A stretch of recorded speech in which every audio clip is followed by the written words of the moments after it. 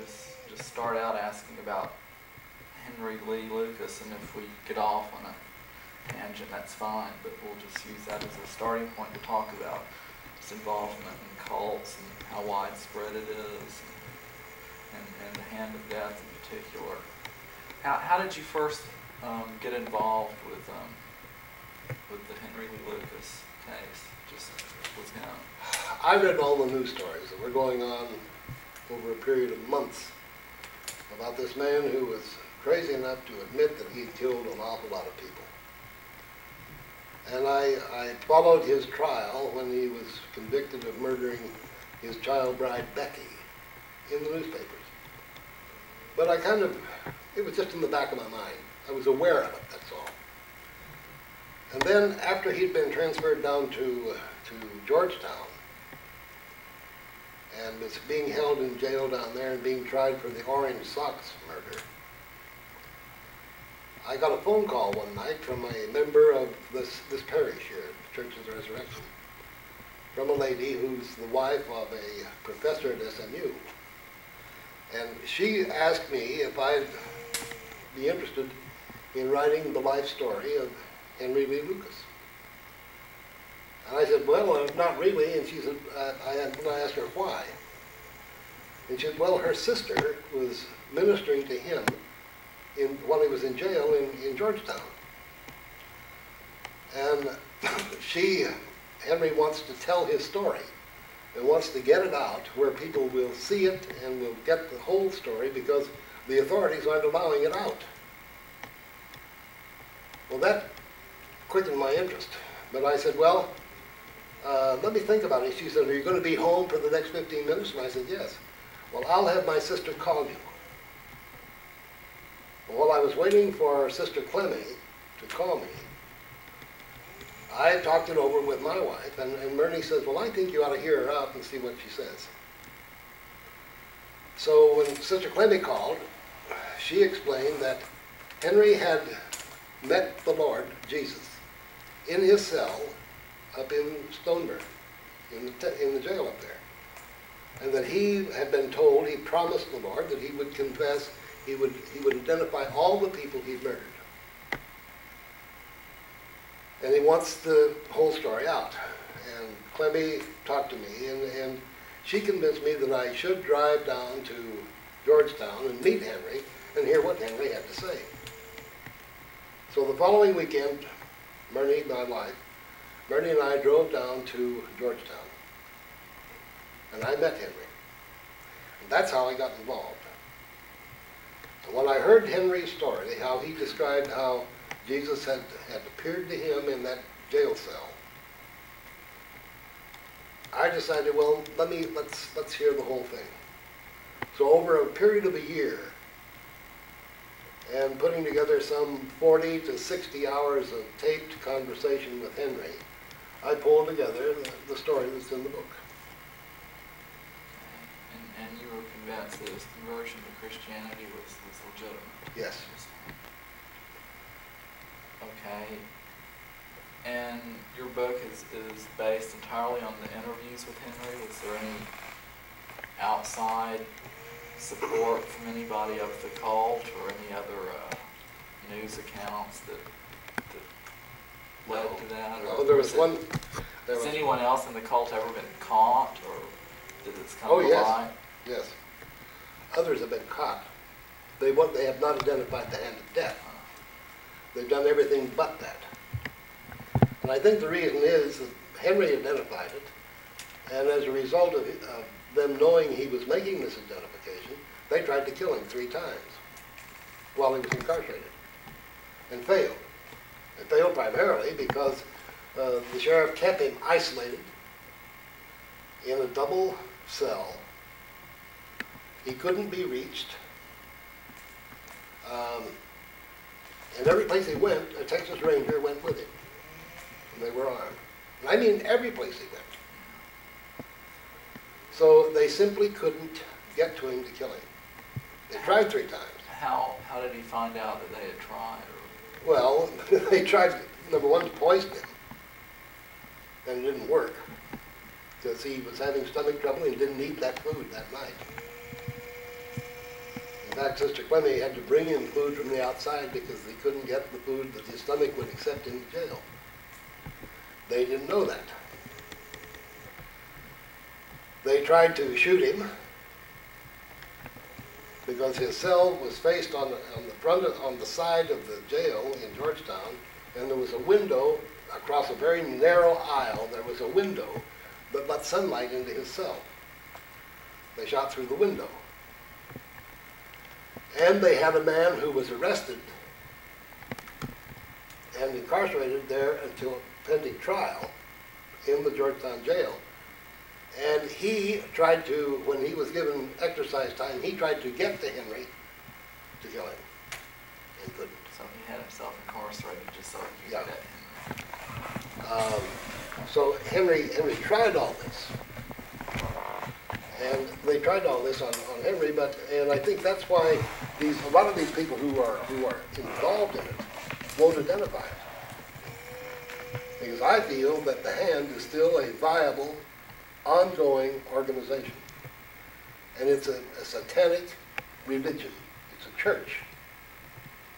Well, from what information Henry gave you or any kind of outside verification, do you know, like, can you pinpoint, like, any kind of headquarters or any kind of, uh, Henry identified where the training camp was. right, that's in the book. That's, and that was in the Everglades, in Florida. He notified the FBI of it. The FBI did an overfly and flew over the area looking for the signs of the camp. Henry told them why they, they wouldn't, they couldn't spot it from the air. But they would not go into the Everglades in the airboats and find it. They wouldn't take the time to do it. I personally think that they did, and they found traces of where the camp had been, but it, it had been moved, because it was a portable camp. And I think they found traces of where the camp had been, but it had been moved. And for various reasons which I'll never understand, they didn't want to admit that such an organization existed. Now, this was the authorities. Henry told me that they, they had explained to him that he should not say anything about the hand of death because it would create riots among the people. To know that there were 2,000 adherents to this religion walking the streets of the country, killing at will. You have to understand that in the satanic church, pardon me, when you become a, a Satanist, you admit that you're already dead. As far as the world is concerned, you're already dead. They cannot do anything to you. Therefore, you can do whatever you want. If they kill you, all they're doing is, is taking nothing. Because you're already dead. And it takes that kind of faith to believe that in order to do the things that they demand you do.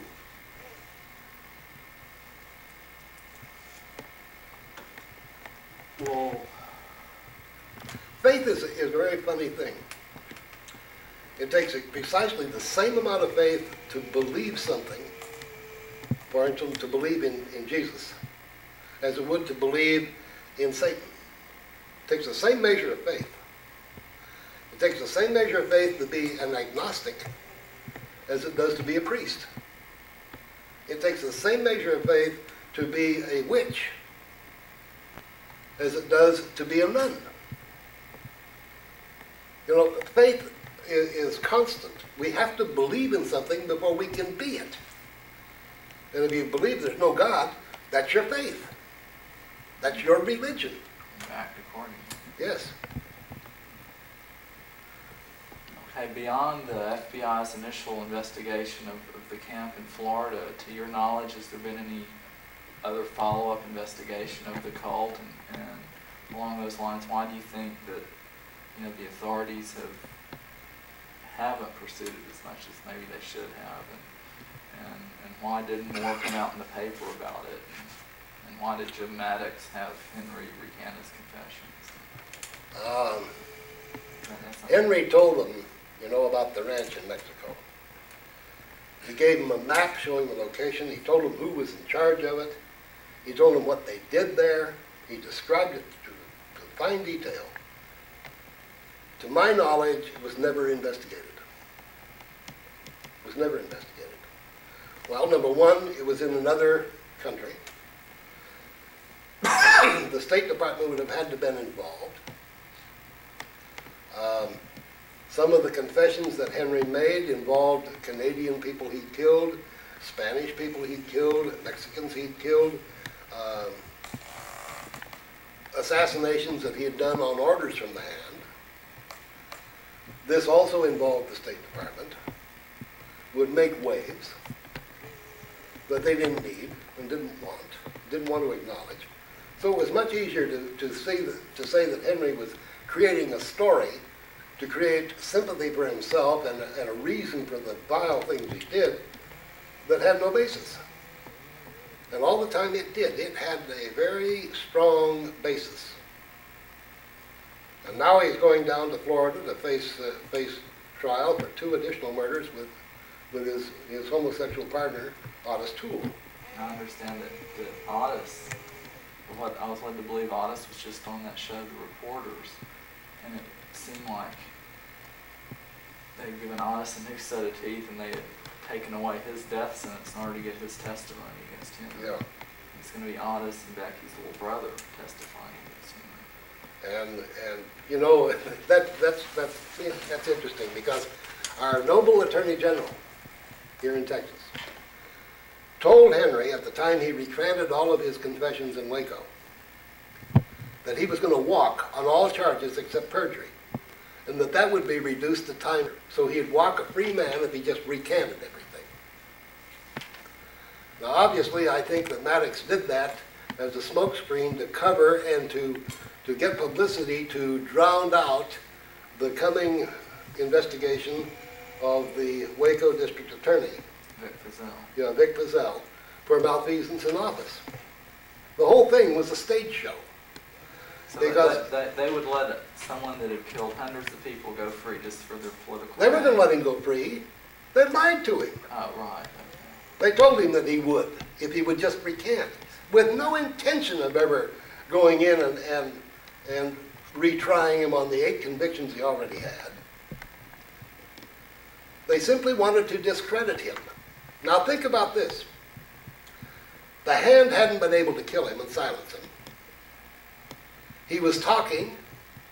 He had to be shut up one way or another, and one way to shut someone up when they're talking is to discredit them so no one will listen and believe. Jim Mattox and Vic Feazell did that very efficiently.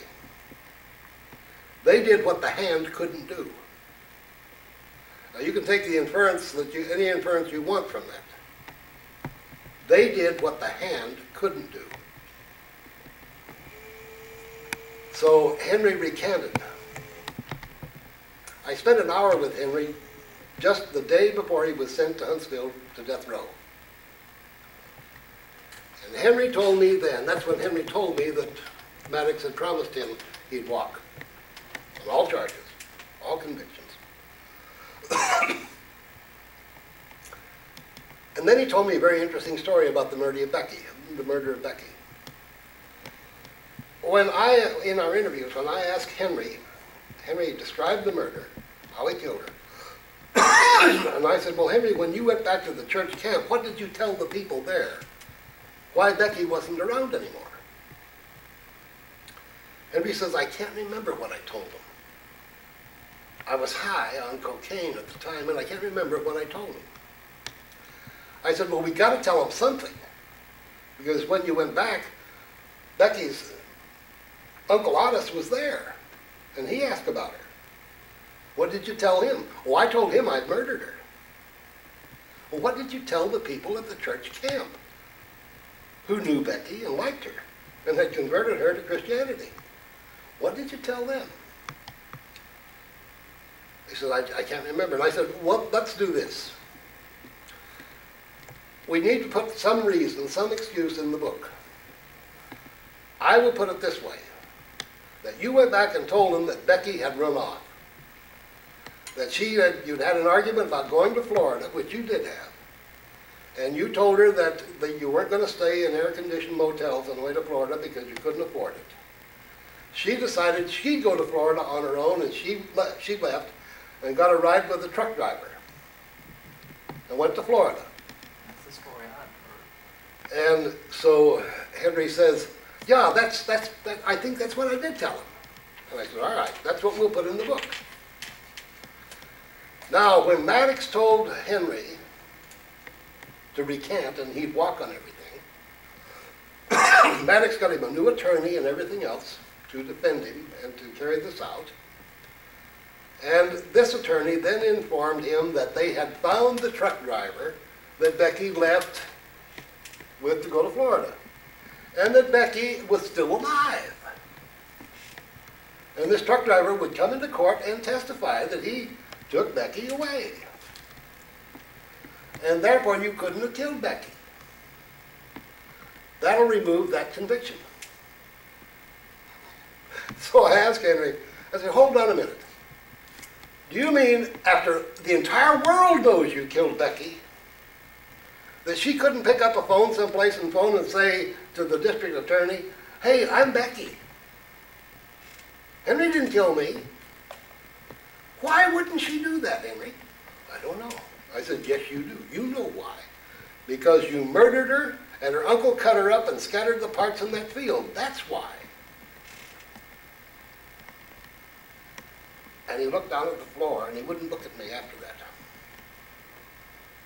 He wouldn't look at me from that point on. And, and you think it's like he's been quoted as saying that, that that was the death that bothered him the most? It was Becky. Yeah, that was the only one he loved that he killed. The fact, you know, see, I sent a copy of this book as a gift to Jim Mattox when the thing started to, to boil. Mm-hmm. Mattox read the book. He saw the excuse Henry used with Becky, Not knowing that you would, not knowing it was, it was you something had told I had, her. I had made up for him to use as an excuse. And then he went to, to Henry and says, we found the truck driver. Becky Is- never is- left with the truck driver. Is, is Henry too simple-minded to, to not be able to, could, has he forgotten what he's told who? Yeah, Henry only has a fourth grade education. And that's another point. The only murders that I mentioned in the book are the ones he could clearly remember. Because his mind was so fogged over with the use of drugs that his memory could not be depended upon. And if he couldn't remember it, and remember the details and how it was done, I didn't include it in the book. Henry admits that he killed 175 women while participating in 360 murders with us. Now, the trigger to his memory was if he was taken to the location, then he could tell them where to look. That was, that's what triggered his memory. And you have to go back to what Henry, the deal Henry made when he saw Jesus in his cell in Stoneburg. He saw this light appear in his cell at night. And he was freezing because they'd run the air conditioner down to where, where he couldn't stand it hardly. And he was freezing in that cell and he saw this light and he felt warm. he knew who it was because he called that light the Lord. And the Lord said, I want you to give up the bodies of all the people you killed. Remember, this is a fourth grade education telling me this. Give up all the bodies of the people you killed to help me, the light, answer their prayers. Yes, Lord. But I can't remember all of them. The light then says, I will help you remember. Now let's say that a police officer who came down from Canada to question Henry about a murder that Henry had remembered in Canada. And the police officer would, would give him in, in trying to identify the area something, the police officer might accidentally or inadvertently give him some details that would lead him to say, oh yes, it happened there, on that date. Henry thought that was the way the Lord was helping him remember. He wasn't admitting anything just for the sake of admitting, but he did promise he would give them all up. He promised God he would give them all up, and he didn't want to miss any. So yes, he did admit to some he didn't do. That's in the book. He did admit to some he didn't do because he, he couldn't remember. His mind was so fogged with drug, with habitual drug use while all these things are happening. He simply couldn't remember, but he didn't want to miss any. He promised God he'd get them all. So if some, someone dropped a hint to him, he seized on it. He thought that was God's way of giving him the information to remind him. For the first time, you know, a lot of things are kind of falling together and making sense. Now, there, there, one murder that, that uh, he was, uh, he, he gave him the graphic details and everything, and it was a murder in Houston. He gave them the graphic details of how she was murdered, what was taken from the house, everything. And the date. The date was firmly established. That was a matter of police records. And after Henry confessed, and they thought they really had the guy because he told them things that nobody could know except the murderer. They discovered Henry was in prison in Michigan when it happened. Couldn't possibly have done it. That nobody can explain. But he gave them all the details. So, um, he may have heard it from someone when he was drunk. And that may have triggered, you know, he may have that in his memory. Could have been another member of the Hand of Death. Yeah. Now, there's also a big thing about how could he commit all these murders at various places? These people talked when they met.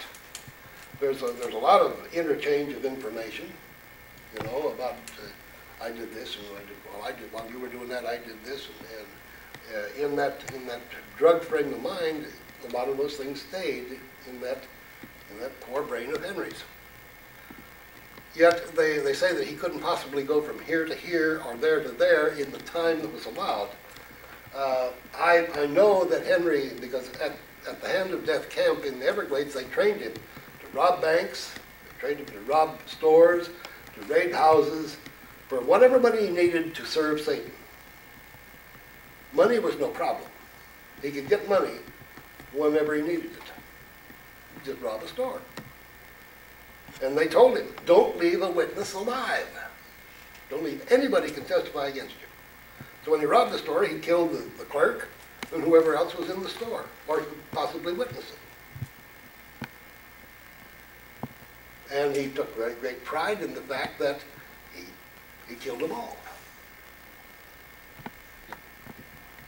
Now, when, when Henry, here's, here's a man with a fourth grade education who has never been in a church service, a formal church service in his life, except at that religious camp, and he couldn't stay in those services. He had to get up and leave in Stoneburg. Uh, that's the only time he'd ever gone. He only went there three times. But here's a man with a fourth grade education, can hardly read and write. And when he described the, the hand of Satan religious ceremonies that took place in the Everglades, he described in perfect detail all of the elements of a traditional satanic black mass, which follows basically, except everything is reversed, which follows basically the typical Roman Catholic or uh, uh, Anglican mass in the Christian religion. Uh, this, for a man with Henry's education, he couldn't possibly have done it. To do it so accurately and explain it so well and describe it in such detail. When they prepared the host in a black mass, particularly when a human sacrifice was used, Henry described when they put that five-year-old boy on the altar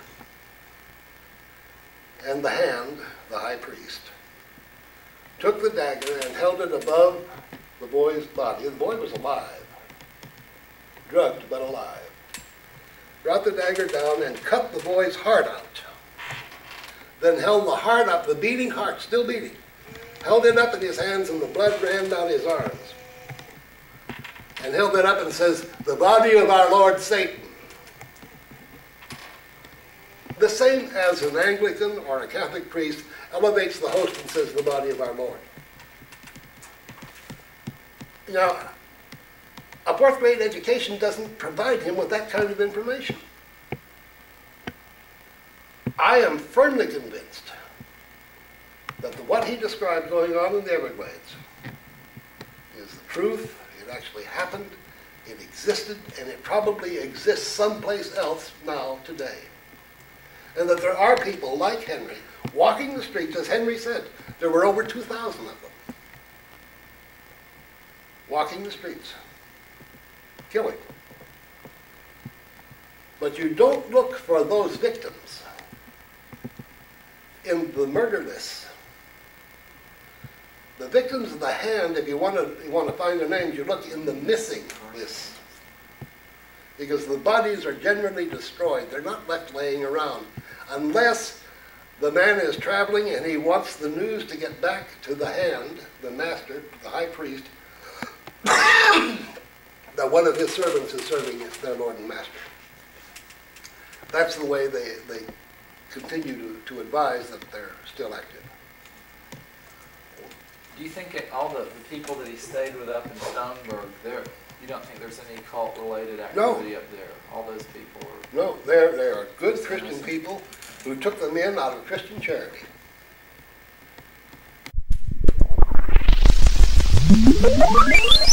Henry and Ottis were involved. They firmly believed they couldn't be touched. They were schooled and trained for what they did. Neither one of them is smart enough to think of it by themselves. Henry has eight murder convictions in the state of Texas that have not been removed by the Attorney General. Ottis has confirmed too many of Henry's murders in those eight convictions for them ever to be removed. so, all I can say is the Hand of Death is an ongoing organization. It's currently in operation someplace. They're training them, probably in Mexico, maybe up in the North Woods, maybe up in northern Idaho, Montana, Alaska, Hawaii. It could be any place. It's a religion that a great many people believe and act upon. do you think that the particular people apprehended in connection with the, the Matamoros cult were more than just marginally related to the Hand of Death? Oh, yes, yes, Do you think they were I do. closely affiliated, if not I in the Hand of Death? I really do, and I think, uh, I think the, the relationship is so close. When I spoke to the, to, to the Texas law enforcement people in Killeen a year ago about cults, after, after my presentation, several of the, several of the police officers were there, and they were there from all over the state of Texas. Uh, came up to me afterwards, and every one of them confirmed the fact that they saw the marks of the hand, the hand of death, the organization that I have described in my presentation. They saw it evidenced in a great many murders that were still on their books all over the state. Does the Hand of Death have a trademark? Yeah, they always leave a mark on the victim. Henry marked the victims. Does it go in that, in this book? Yeah, it's in the book. Henry marked, marked every victim. Uh, that mark was never the same, but they always leave a clue. A clue that nobody can, can use. And that's the clue, that's, that's the mark of the hand. Like Henry would cut a cross on a breast, or on the cheeks of the fanny, or on the stomach. Or maybe he would nip the lobe off of an ear.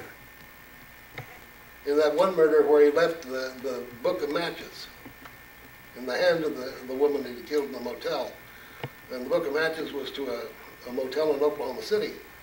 That was, that was the marking left on her. So it's never the same. The school teacher he killed when he was headed down to Florida. Uh, I think if I remember right, he, he, he cut a cross on her breast. Uh, Henry had sexual intercourse with women. If they objected, if they, if they submitted and allowed him to do what he pleased with them while he was still alive, he killed them after he did it. But if they objected to it, he killed them and then did it. Um, So they, he, he was, I think Henry was bisexual. I know he had homosexual relations with Ottis. He was very reluctant to have, have sexual relations with Becky, but he did. And he did have sexual relations with a lot of his victims. A lot of them he didn't even touch, other than to kill them.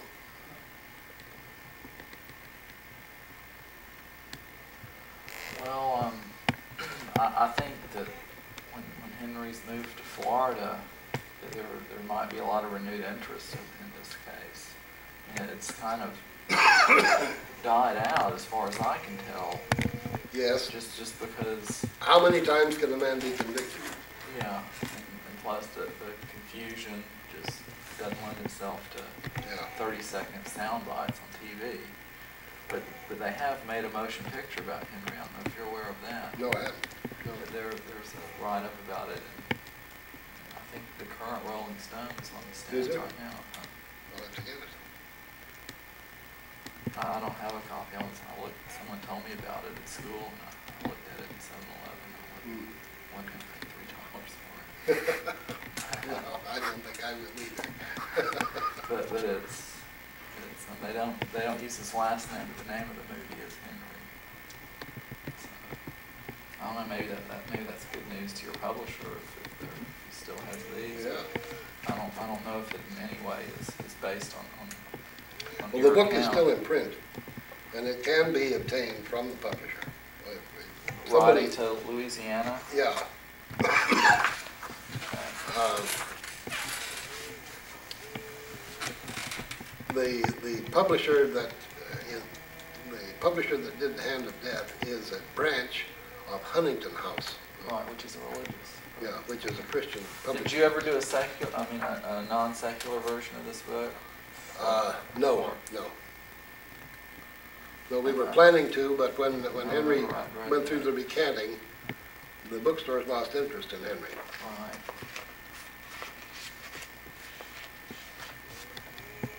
But everything he told me in there is true. Unfortunately, the DA in Waco and the Attorney General destroyed his credibility. There's still a lot of murders that are marked solved because of Henry's convictions, confessions. Um, They just won't prosecute on them, but they cleared the cases. Because he could tell them. He says, if you will go to such and such a place and dig up, you'll find a body with the hand in the mouth. That's the way he marked that body. They would go to that location and dig, and they would find the body with the hand in the mouth, where he buried it. Now, that was a murder he committed. He might send them, uh, he might, he might say, you, you drive down a street in such and such a town, and when you come to a yellow house with a green door, I murdered the woman in the upstairs bedroom there. Well, the house now is, is maybe white, and the green door is now maybe yellow. But when they find that it once was painted the way he described, or they go to the murder records and they find, yes, a body was up there, that murder is solved. Henry killed him. Now, how many times do they have to go to court and spend millions of dollars to convict a man who's been already convicted? Randy, is there a plug for this? Because it's starting to flash battery. Oh, Well, Do you have a backup battery? yeah, we, we could, but I, I think. I think we we've got it. got it, got it. Okay, Got it. all right. Probably plenty.